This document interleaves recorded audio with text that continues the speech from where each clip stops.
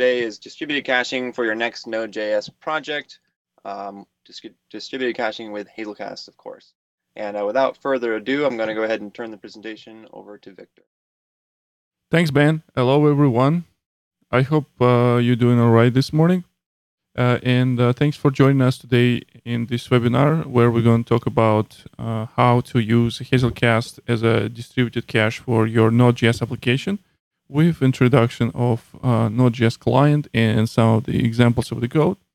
So uh, I do have some slides uh, to present, and after that we will switch to to demo where I will demonstrate some of the code examples, demonstrate some of the application use cases, etc. All right. Uh, two words about myself.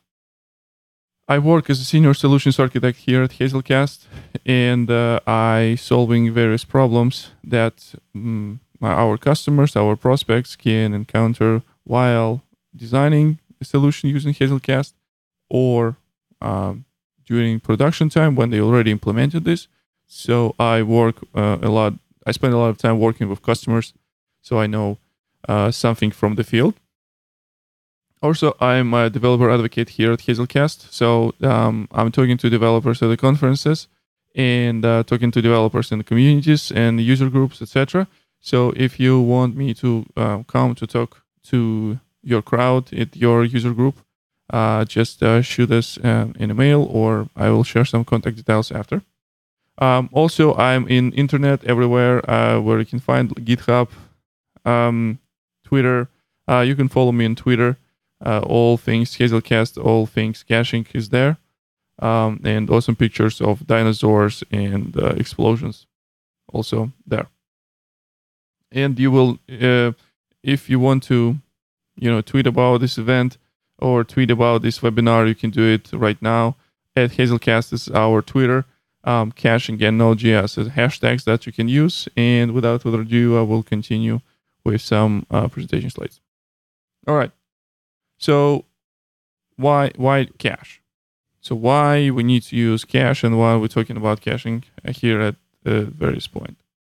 So usually there should be some problem statement. So there's uh, some horrible boss from the office spaces uh, as my problem statement here.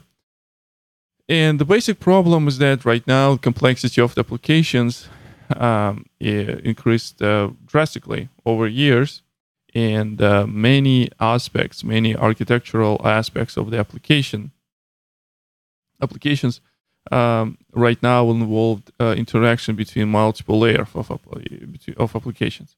Um, typical enterprise application might include um, just few layers, which includes database, uh, some of the business logic layer or application server layer, or um, application server can combine this functionality with web server, and plus the web server will represent um, way how we're data. Plus, uh, today many many clients that consume the data from uh, from the application server or from web server not necessarily needs to be a browser. It can be mobile application, uh, etc and etc. And uh, so typical typical application, typical uh, business application um, that might consist multiple layer. Um, as I mentioned, uh, we have a persistent data layer where we store our data or where we retrieve our data if we are in uh, some sort of serverless architecture. We still need to uh, retrieve it from some service. So it can be a relational database, it can be NoSQL database, or it can be even REST service. Uh, you writing application that displays weather, you need to uh, store this um, data in your database, or you can just directly invoke uh, weather service uh, through the REST. Plus, there are some services that need to um, inside your application uh, it might be different uh, pieces of the code. It might be different um, elements of business logics, and they also need to interact between themselves. However, here uh, we can we can see that there are possible ways how um, the data transfer might slow down. In particular, if you're running database and you don't have optimized, um, you don't have optimized indexes in your database, you might face a situation where data retrieval uh, will slow down, or a REST service for some reason start uh, behave very odd and response time uh, increases. And one of these, I guess, easiest and simplest solution to um, to pro- to provide um, solution for this kind of problems with low latencies, etc., um, is implementation of uh, caching. So caching is a very straightforward solution. Usually, some sort of um, fast retrieval storage where you have a very simple access pattern. Very typical. It's just a key value, um, key value access pattern, um, and caching is uh, basically is good for a few things. It's good for increasing, uh, uh, improving application performance. Uh, like I mentioned in my previous slide, multiple layers you can you can create different types of caches, not necessarily distributed, not necessarily um, out of the process, but also simple um, simple in process storage like a hash map or just a map or dictionary, um, um, or just uh, some some sort of object where you can retrieve data uh, by key will be able to uh, behave as a cache. And retrieving data from local cache or from this local data structure will be much faster than retrieving it from um, retrieving it from um, database or REST service. Um, so usually also uh, to increase application performance, um, caching used, or it can be used to um, to offload very expensive uh, pieces of um, application architecture. So, so let me give you example. For example, you have some uh, some some some some some process that needs to, needs to calculate some uh, result for a various user, and even though if um, user input parameters every time will be the same, it still needs to spend time to uh, calculate this. But what if you can cache this result? So in this case, you can improve uh, application responsiveness and uh, basically store result as a you know key value uh, pair where the key will be uh, your username and method name and the value would be result of this method name.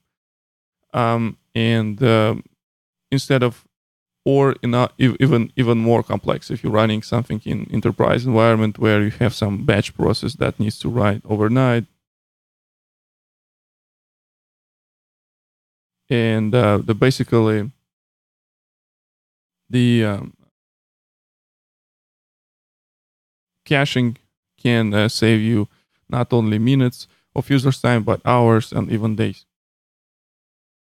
So um, now we're going a little bit f- further and we want to increase application performance uh, by growing hardware and uh, the using like in-process cache um, can also help um, scale scale up. So what I mean by scale scaling up is when you increase in capacity of uh, your hardware by bringing more hardware without changing anything in topology, without changing any network capabilities. Your system stays in one machine.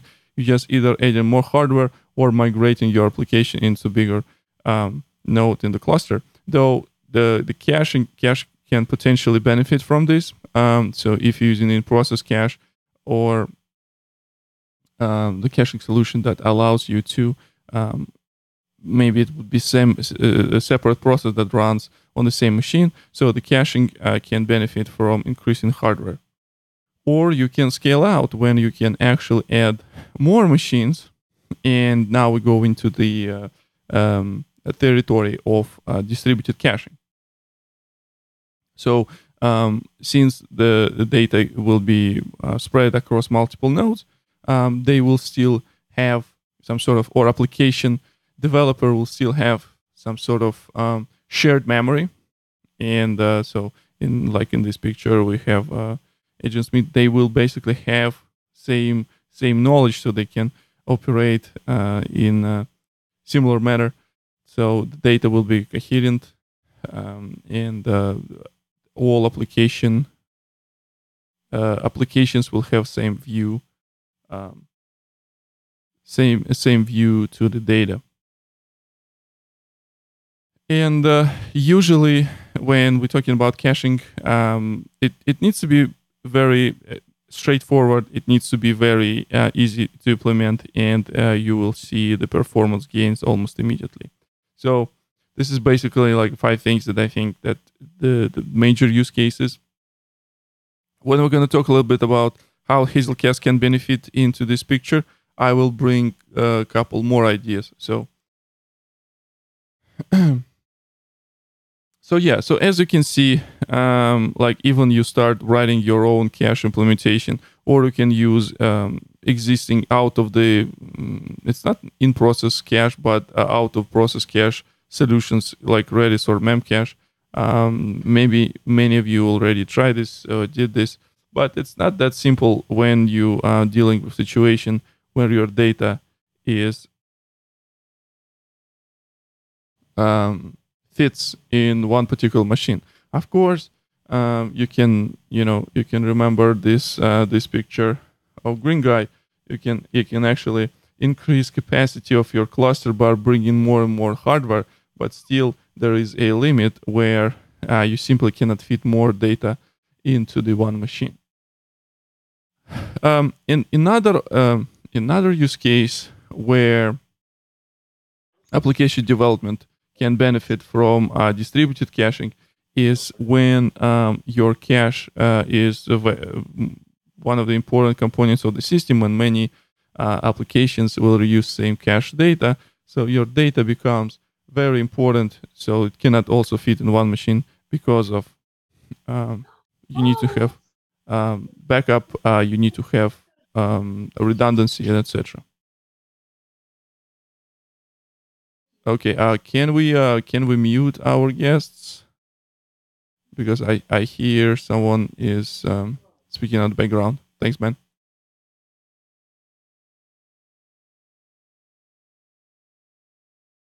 Uh, I still hear some some voices, but yeah, if you guys you're not talking, mute yourself. And uh, Ben, could you please take care of it? Um. So now I I, I want to take a moment and um. Uh, and and talk a little bit about uh, this data distribution.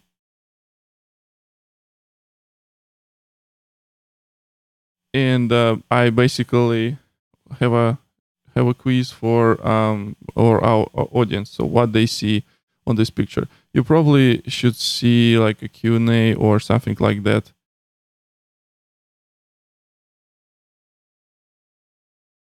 Um, you can you can send me this uh, kind of what what what you can see in in this picture using uh, the chat window. We have chat window uh, ben available Oh, we don't have chat, but we have Q and A. Oh, that's okay. So in this case, I will just you know I will simply explain. So what I see. So basically, on this, I have two pictures which represents basically uh, at some point a representation of um, of data, where data is uh, data is replicated, or data is sharded, or um, also known as uh, the part- data is uh, partitioned. So and um, as you can see from um, from this picture, when with, with replication we have a situation when the data is uh, have a copy of the data, exact identical copy of the data, and on the right side it's um, basically data that spread across uh, multiple um,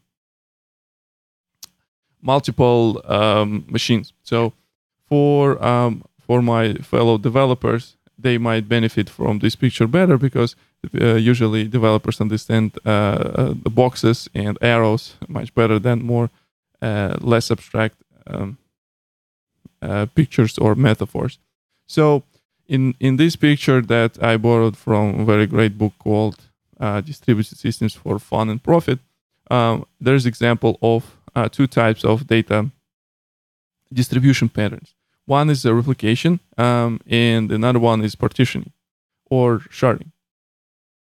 Um, so as you can see here, data uh, in the data set A um, is spread from uh, one node to another. So data by index or just uh, sort it by by number because we have array of entries from 0 to, uh, to 200.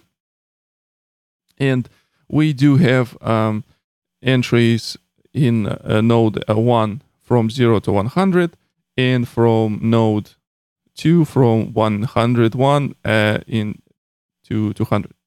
So in this case, um, we have a data set of 200 entries and spread them across across nodes. It's similar to a data set B where we have um, where we have ability to um, well not ability when we have data set uh, distributed across node 1 and 2 from a to n from o to z to another one. So from this picture you can take um, you can take idea you can take idea that um, the replication pattern is basically not extremely scalable pattern to use because uh, usually capacity of the smallest uh, node in the cluster, uh, capacity of the smallest um, smallest machine that you have at your disposal will will dictate will dictate a data size. So in this case, again, you need to grow either hardware if you want to use replication plus. You know, each and every time you need to copy the same data and adding node new new node to a cluster will just uh, increase time while the data will be replicated. On the contrary, uh, sharding or partitioning has a, a more um, benefits for a distributed system for scaling out. But in general, in general, uh, uh, these two patterns are in a pure form usually not used in in the real life systems. Usually, um, the developers of the systems they implement some sort of a variation or combination of both. Uh, one of the variation uh, known as a consistent hashing, where you use uh, the hashing function to uh, distribute key of data.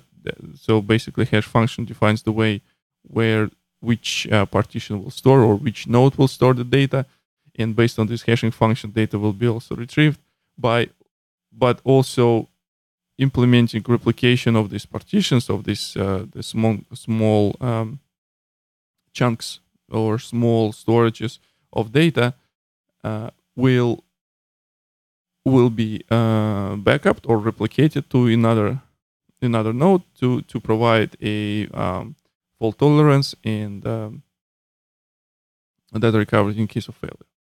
Now, so when we uh, going through um, more um, theoretical part. So let's let's talk a little bit about Haz- to, about Hazelcast and how it can uh, benefit for your caching solution.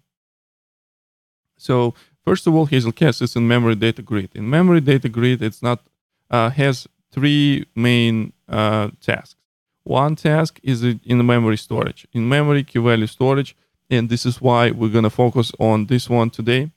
Um, if we will have uh, more interested or like based on your interest guys we can we can expand this uh, in memory grid uh, uh, capabilities for next webinars about um, how you can leverage from node.js but in the, today topic we're going to talk about caching. So sec- second one in memory uh, in, in, memory grid piece is distributed computing piece. So basically it's not only uh, you storing data but you also can execute some sort of um, uh, stored procedure. So you can store data in the grid and you can process data in the grid in memory.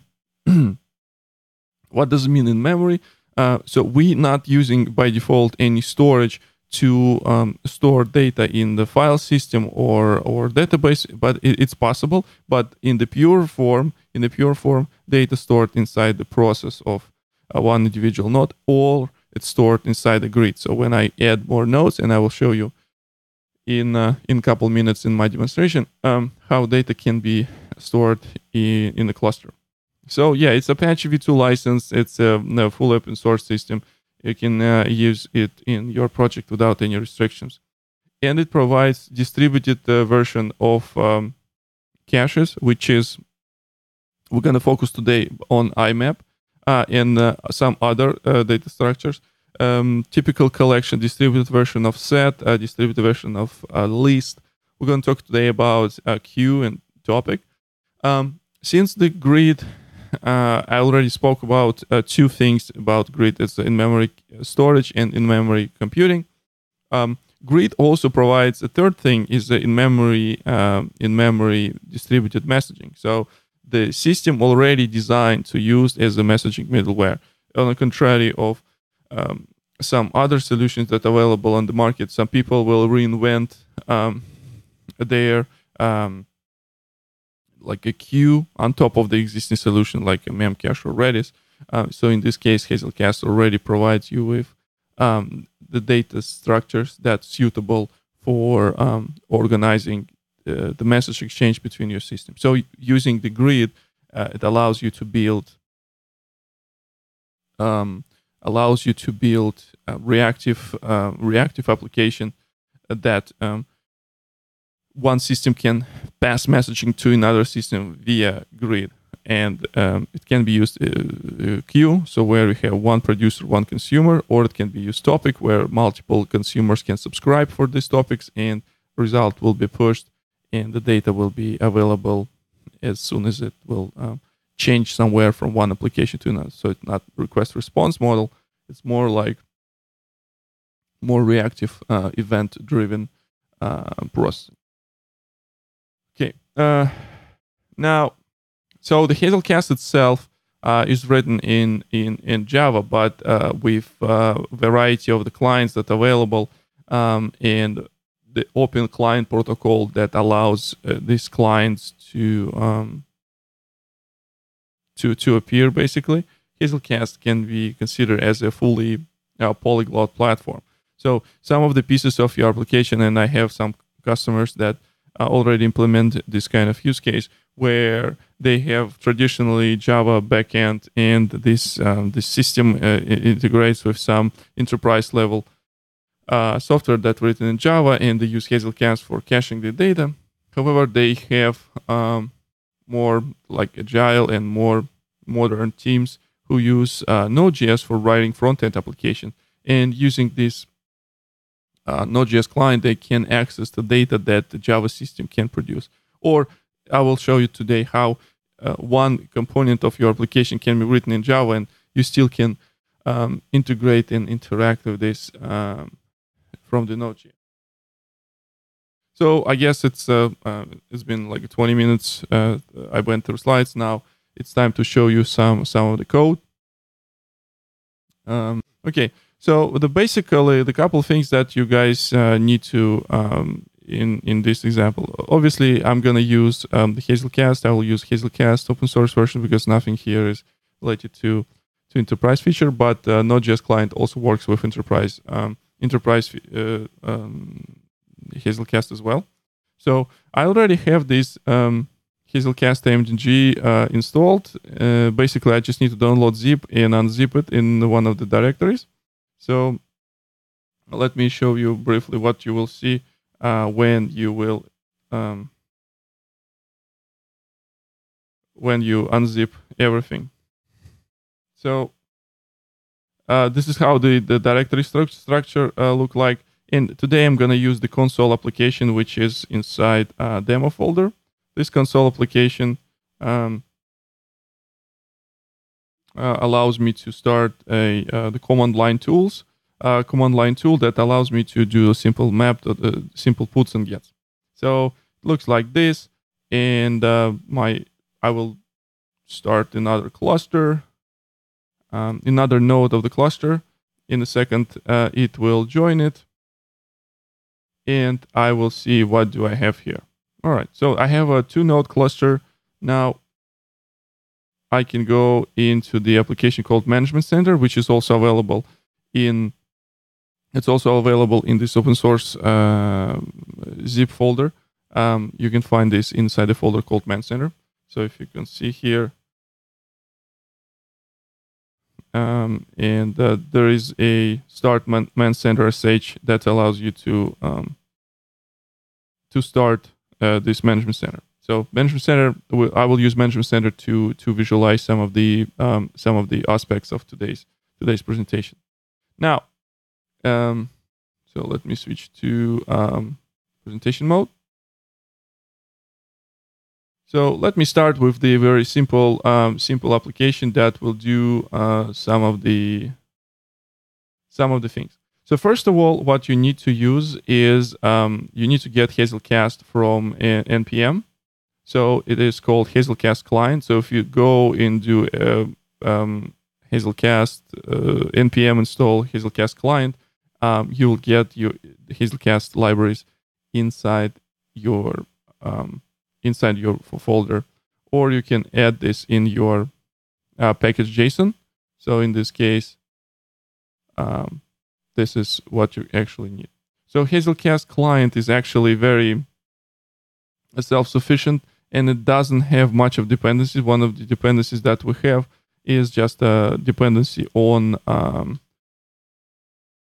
uh, long uh, long library and uh, uh um, uh, what is it?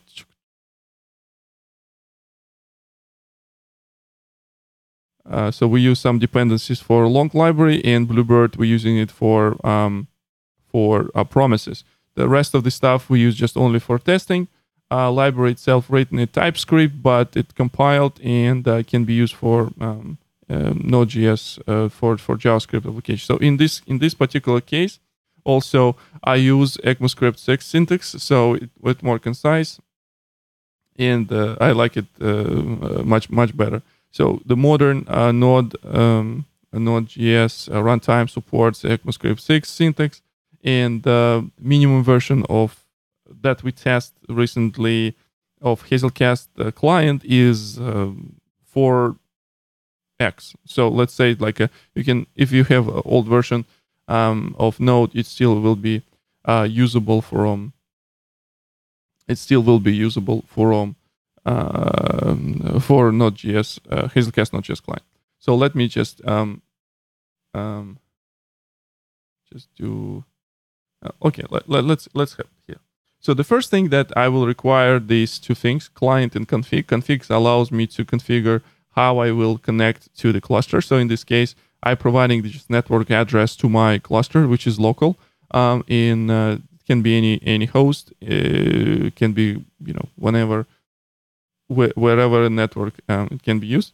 And after that, from Hazelcast client, I create a new Hazelcast config, and when this uh, client will be used, um, I use uh, we use here uh, promises, and uh, the now we have fully controlled uh, fully fully formed a client that will we can use for communicate with our grid.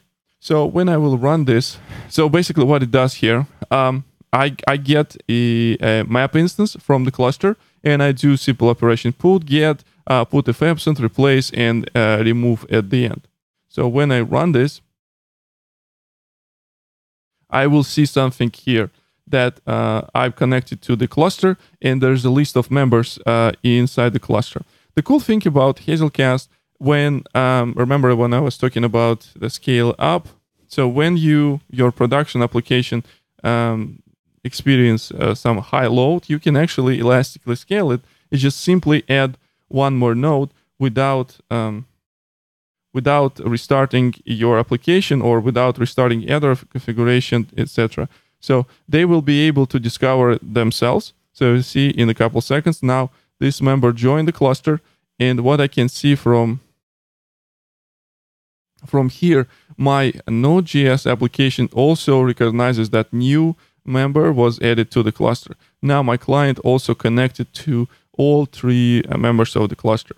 So from perspective of management center, how it looks like here, I just put something here like uh, I'll do something like this um, key and I'll run the browse. Uh, I guess it's a wrong map. Let me close this. Once again. Of course, the value not found here because I was um, I did I did remove it um, when I call this uh, remove action. So also very um, interesting point here that since my application already running, I can also react on some events that happened with the grid. So in this case, I have this uh, concept of listener. Um, the listener allows me to register some uh, some uh, some object that has certain uh, methods. In this case, method edit, method removed. That will listen this event and everything that happened uh, with this uh, with this particular map will be reflected um, on the listener code. So if I from my Java from my Java the console application that I use to demonstrate this, uh, I do ns that allows me to switch uh, to to my map, and I can do m.values, um, some value in this map. So what I can do here, m.put, um, I can do webinar uh, and Node.js. So I paste this uh, from from Java client. When I switch to my Node.js client, I see my listener detected that something happened on the server side, and the server pushed this data to the, my Node.js client. Now, as you can see, edit uh, key webinar. Uh, old value was not there, so in this case it's undefined, and new value is Node.js. If I also go to Management Center, I will be able to read this um, uh, from here. Um, and uh, Node.js as a value, etc. So you will see it here. So using um, uh, Hazelcast and Node.js, you can write uh, um, a reactive application when you, or like a event-driven uh, application when one system can um, generate some sort of event and another system will uh, react on it. So it's pretty cool.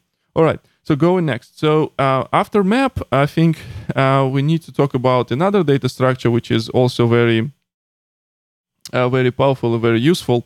Sometimes so map is a typical uh, typical uh, data structure where you have a key value. You need to you need to know the key and you need to know value. But sometimes you also need to write um, something which has a same key but you need to have a collection of objects. So in this case, multi-map is very handy. So you can, um, as you can see here, with multi-map, I just need to retrieve this instance from from client. I do get multi-map. If multi-map was not uh, was not there before, it will be created. So you don't need to check it uh, by yourself. You need to do uh, create a multi-map explicitly.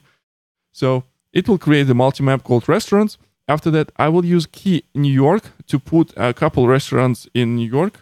Uh, not the very maybe very famous in general, but nothing to do with New York. Just a Red Lobster uh, restaurant will be there. And after that, um, uh, I will put another one called Eataly, uh, which is uh, Italian marketplace style restaurant here in New York. Um, and now by inside New York, I will be storing uh, two entries, Red Lobster and Eataly, and the same thing for um, for Las Vegas. So I'm putting here burger, I'm putting here alibi, and I'm put, putting here uh, pub and grill. And after that, I'm reading this result by key Las Vegas. And so what? Let's see what's um what what's what what we're gonna uh, get uh, when we run this example. So also when we connect it now, the client also connects to the cluster, get information about all members of the cluster. Um, and I do have it here, and this is my result. In my management center, I also can check the multi-map. There's a multi-map called restaurants, and I see uh, one of the node that hold uh, entries, another one uh, hold two entries, another one hold three entries. Another very cool part of um, of Hazelcast um, say you want to um, you're running Hazelcast in cloud, you're running your your caching application in the cloud, and you want to elastically scale up, I already show you how we can elastically scale up and without application restart. But you don't want to uh, pay extra um, money if you don't need to uh, use uh, the system. So in this case, you can also um, decrease size of the cluster without actually losing your data. So as you can see here, um, my uh, my my map right now contains two entries, um, and one of the entries has a backup on another node. So I can I can easily, without any problems, can go there and shut down node.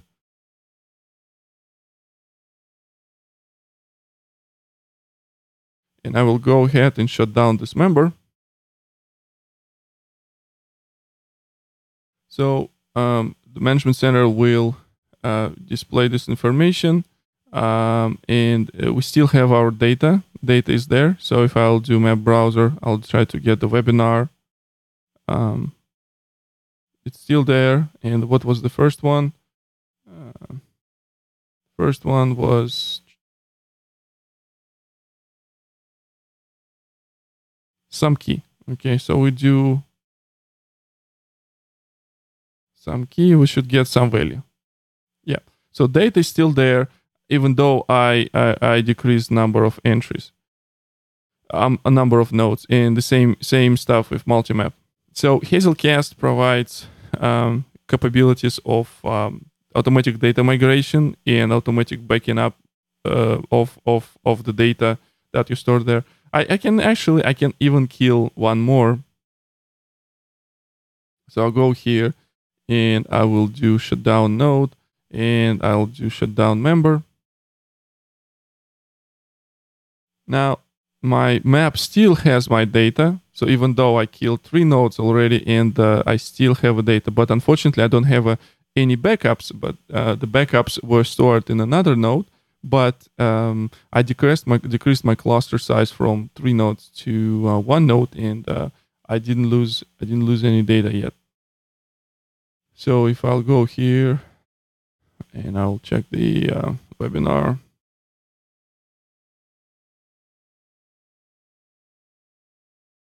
Okay, it's still there. Now, just um, if we're running the clustered application, I still want to have it um, in multi-cluster mode. It would be cool. Uh, just a, just a cool to see like cluster of like three nodes than cluster of one node because there's not such thing as a cluster with one node. All right, and as you can see, from perspective of application, um, uh, my application didn't throw me any errors. So we just have some warning that connection was closed because uh, two nodes were removed from the cluster, but client was able to um, default fa- fail over to another member. And after certain time, um, when the member uh, went up, client was able to reconnect. Same same story here. So I'm still running. So these applications are running, uh, and uh, I'm just killing uh, nodes randomly. All right, couple other things. Very interesting uh, interesting things that you can you do with Hazelcast um, using queue. So queue is a data structure that allow you to uh, place something in the queue and you can read it some in other side. So in this case, I use this um, queue.offer that will paste uh, or put the entry of named item inside the queue. And after that, I will use method poll that will uh, reads data from the queue. And I will print the result. Um, also, I can poll for some duration of time. So I can do, I'll go ahead and run it. So I was I placed it here, item. After that, there was another item and yet another item. Though, because um, because in um, Node.js application, everything is asynchronous. You um, you need to somehow explicitly order this call. So in this particular case, um, if I would need to have an order of these uh, items in my console, I need to do uh, like a then after a then after then.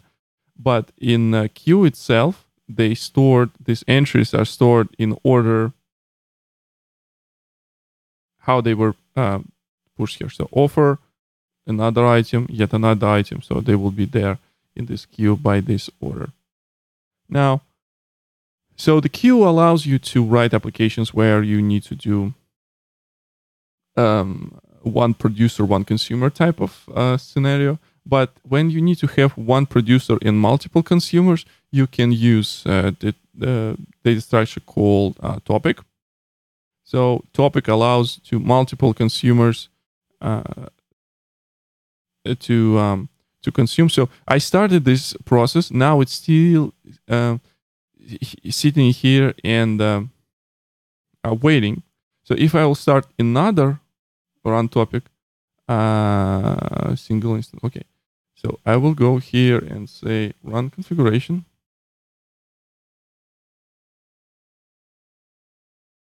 So um, in this case, I need to make sure that I will start another instance, not the same instance. So if I'll go here and run this topic once again, so it will also register listener and also publish entry to the to this um, to this topic. But we have a previous version, previous uh, instance of this application that already has registered instance. So this guy just published um, uh, published the um, entry um, and another guy just simply uh, he was sitting there and uh, he was listening this if I will start another one, so you will see this guy started, push this entry into the um, into the topic, successfully received this message in the topic. This guy also sitting here waiting for this message, I received this message, and also the, the third one also received this um, from um, from the topic.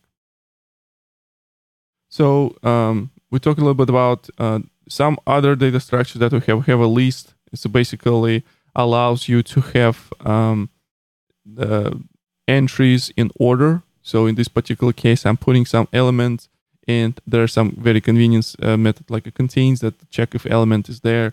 Uh, or I can also add these entries in a batch mode, like I can put multiple entries here. So let me run this list. Um, so I, I was um, I placed this element here and checked if uh, my list contains this.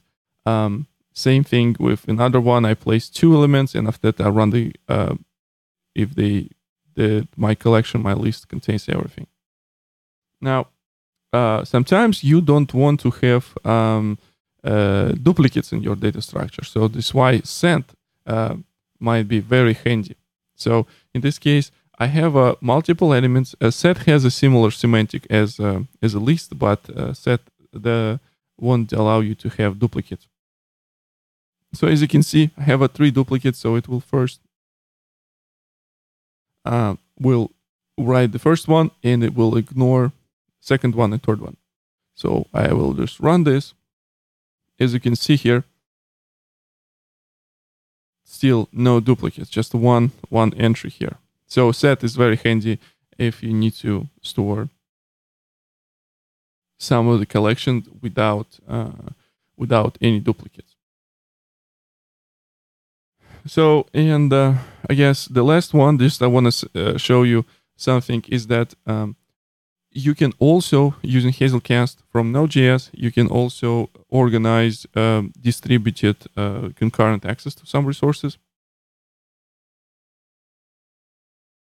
for example, you are working on um, some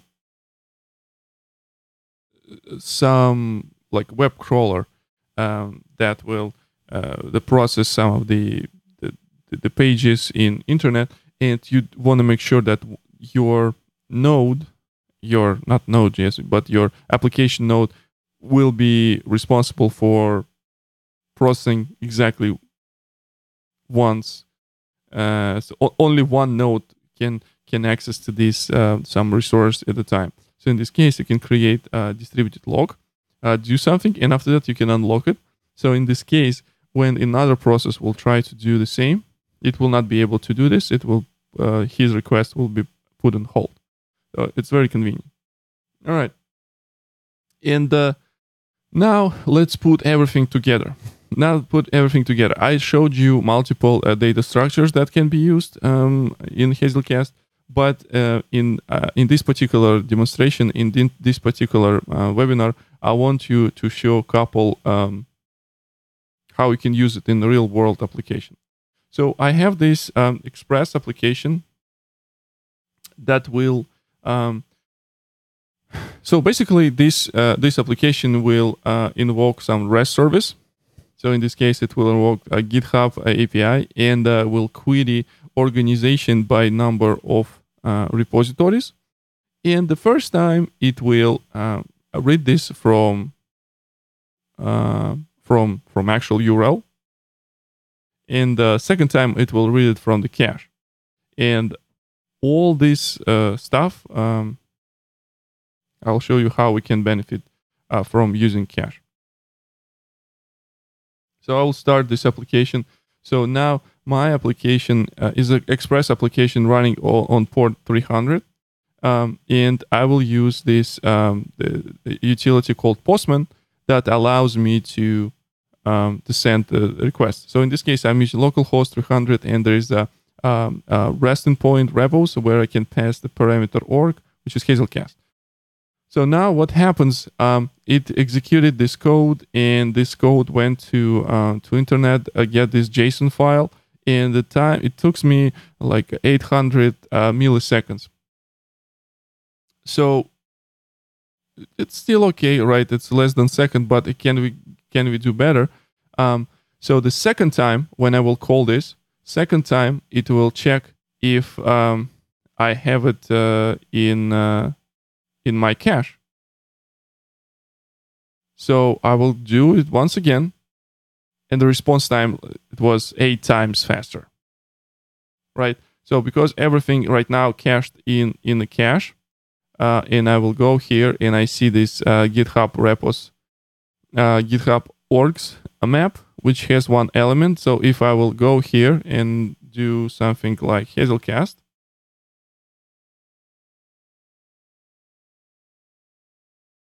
and I will have this JSON representation of uh, all these repositories that's available in Hazelcast. See, so it's roughly entry size is roughly 300 kilobyte, and you retrieve we retrieve this in uh, very quickly. Now, so if I will run this next time it will be even faster. And the reason of that is is a thing called near cache so hazelcast uh, node.js client support uh, data structure called a near cache it's not like a data structure it's just a configuration parameter that allows um, data that was retrieved once um, so basically we don't need to hit the cache like the remote cache each and every time. We can store it in local in process cache so we can don't need to go over network for that purpose. And i can do um, now data is retrieved from my local cache and as you can see timing is here uh, 26 milliseconds. So it's, it's quite impressive i guess uh, we improved application performance from 800 milliseconds to 26 milliseconds. So uh, we can try something else. Uh, let's try it, Oracle. Um, did you know that Oracle has 63 public repositories? So we will do it um, now. We retrieve it from a local cache, and you know the total retrieval time is um, incredibly low. so um, I will post um, all this code uh, obviously in the GitHub repository. Uh, there's a GitHub. Uh,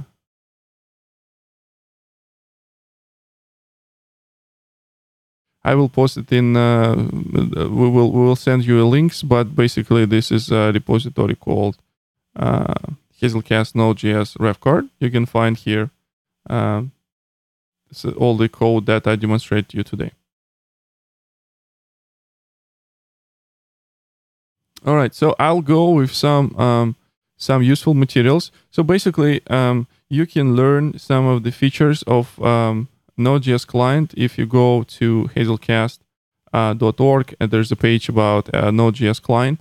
It has all materials, uh, GitHub links, um, a link to previous releases, um, and there's some features that are available here.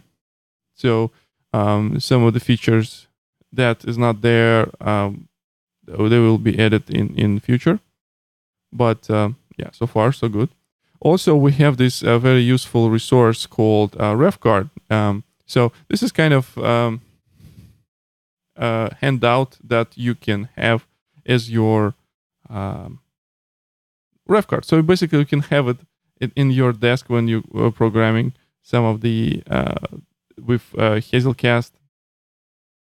Basically, it's a resource card which has all the samples in one place. You can just copy paste it, or you can just read it and uh, you know replicated this in your code.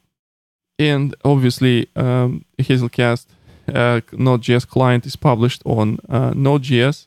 Um, I want to make sure, uh, yeah, I want to point out this is 100% uh, pure uh, Node.js implementation. It doesn't have any dependencies on Java or some other nonsense.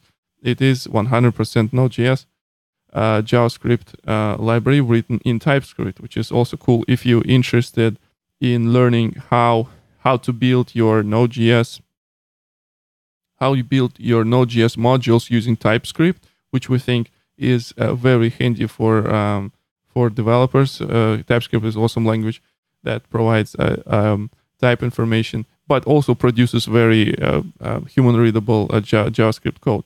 So like all the source, um, it's on GitHub, and uh, um, you can find everything that you want to have here. So configuration, um, it's a TypeScript.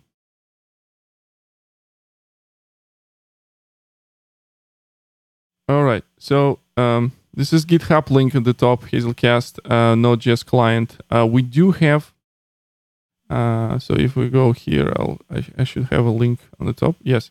So this website contains um, the API docs. Uh, you can uh, you can read some examples how you can install, how you can test it locally, uh, and most importantly, how you can answer some questions because we do have um, um, we do have Stack Overflow. Uh, you can ask questions in in Stack Overflow. Um, also it's it's well documented like all the api calls are well documented here. Um, so for example like if we go into to config and we need to know something about client config and uh, all these methods that we have in the client config are uh, documented here with links to um, to actual source code. So it is it is pretty cool. Um, and we want you to give it a spin we want you to try it out and let us know how it works. So you can always reach out to me in Twitter. Uh, it's uh, the the first one. This is my Twitter. Uh, all for those of you who don't have a Twitter, uh, you can always send me email at victor at hazelcast.com. And uh, this is pretty much it. Uh, we're always looking for your feedback. Um, let us know uh, what kind of topics uh, you're interested in, and we will be able to um, to to come up with some materials to talk to you about this. Um, and uh, thank you for your time. And now I will have some questions uh, if I have any. Ben, is uh, now it's your turn. Sure. So I we already have some questions coming in, but uh, anybody who has questions, please use the Q and A box on the WebEx toolbar. If you're in full screen mode and you hover over the bar at the top, you can get to it that way. If you're not in full screen mode, you'll see it in the upper right hand corner. Just click the QA box and type your questions in there, and uh, we will get to those. And, and uh, Victor, you can navigate. You can see the questions that we already have. Uh, okay, let's let me do this.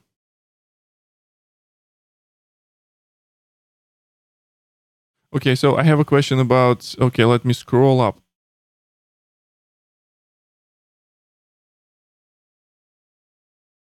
So can you uh, can you share Hazelcast uh, ready to play setup deploy Hazelcast cluster on top of Docker Swarm?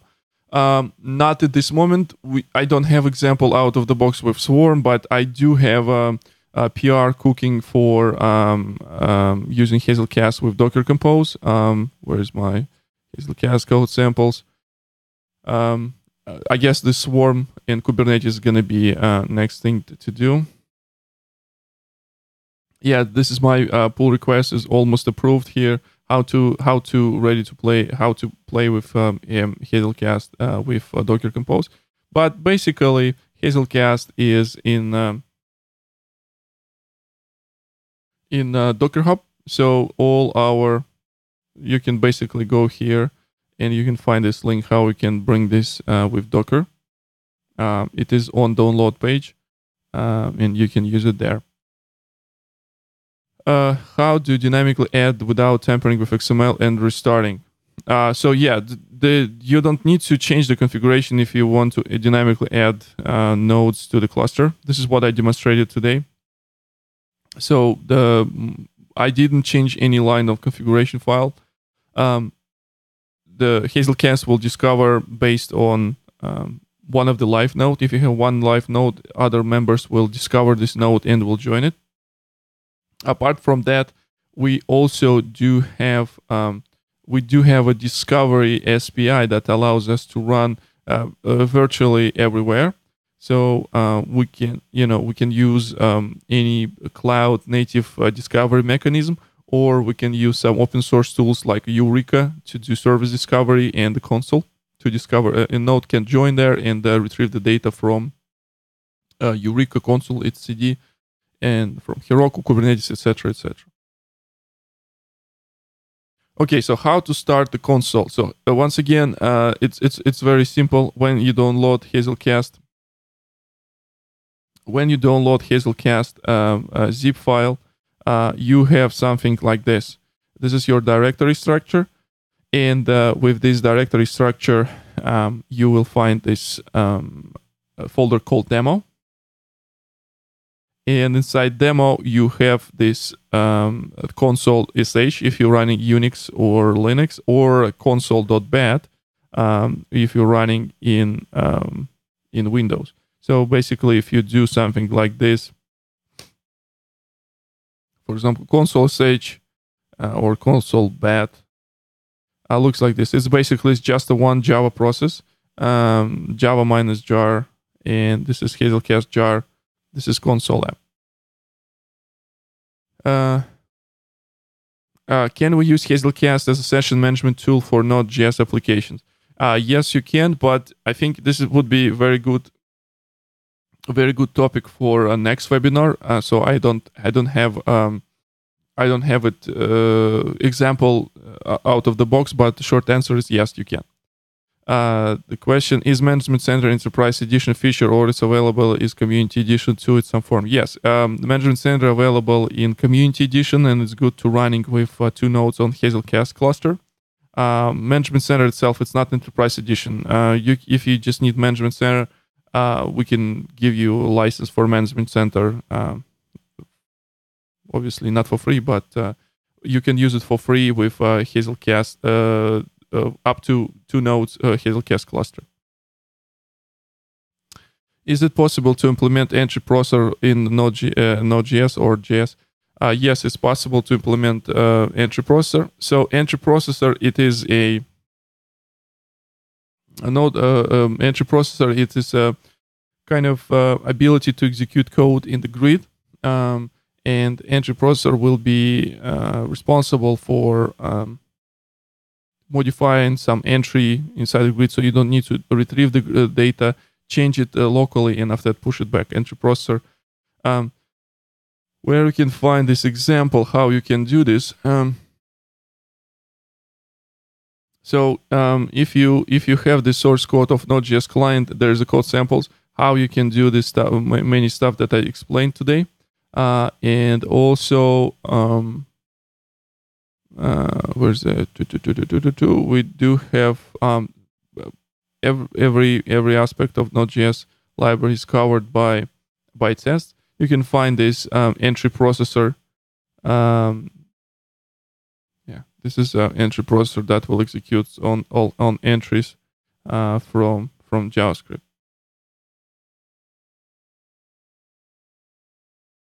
Is there any restrictions uh, for different types of clients, Java, Python, JS, working with the same instances of map topics, as they see? No, there's no restrictions. Uh, they they fully uh, compatible. Uh, only thing that you need to have in mind is that the serialization format needs to be the same. Um, in um, in you you cannot read Java objects from Python code uh, and etc. So things like this, uh, things you need to check is you need to either use some of the serialization formats that we provide out of the box, Identified data serializable, portable, and some, or you can use custom serializer. But in this case, you need to make sure that your custom serialization library supports all these languages. But from perspective of uh, restrictions, no, there's no restrictions. You just want to see on the uh, client compatibility metrics. Uh, sorry, over here. Which uh, which language supports which feature? Uh, if you don't see the feature that you need, you can also open feature request in GitHub. How does uh, data cache eviction works of near cache feature enable? It's a good question. So um, when uh, uh, near cache first of all has its own eviction configuration you can have different configuration uh, of uh, eviction on the client and uh, you can have different configuration of eviction on the server um, and uh, if you change something the way how it works near cache is the way when you change something on the server um, the server will send notification event. So in this case, entry will be evicted from your near cache. So next time when you retrieve the data, this data will be um, uh, this data will be retrieved from uh, um, from the server. So um, the, the, everything is is described in Hazelcast documentation. Um, we can follow up on this one as well. So. Uh, how to add map listener or on Hazelcast cluster. Um, so there is API uh, called. Um, I'm sorry, I will just switch to. So you can add a listener from the client um, using map add listener, add entry listener, or you can do similarly uh, from the Java code. In the Java code, there's also map add entry listener method and you can add it uh, on the server side.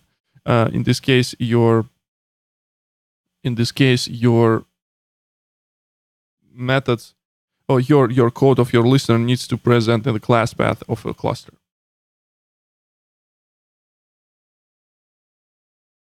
Okay, so I hope I answer uh, all questions, right? No? Yeah, I did. Uh, if you have some questions, guys, don't hesitate to reach out me um, on Twitter. Um, also, we do have a okay, good, good, good, um, good thing to point this. So we do have. Uh, if you go to our uh, GitHub, uh, you will be able to find our Gitter. If you have some questions about uh, Node.js, you can join our Gitter chat um, and ask questions there. Or, as usual, um, contact me in this uh, in this means of communication. But yes, um, I would say thank you for your time. Thanks for coming, and um, I hope it was useful for some of you. And uh, thank you, uh, thank you, Ben, for facilitating this and microphone to you. Great. Thanks, Viktor.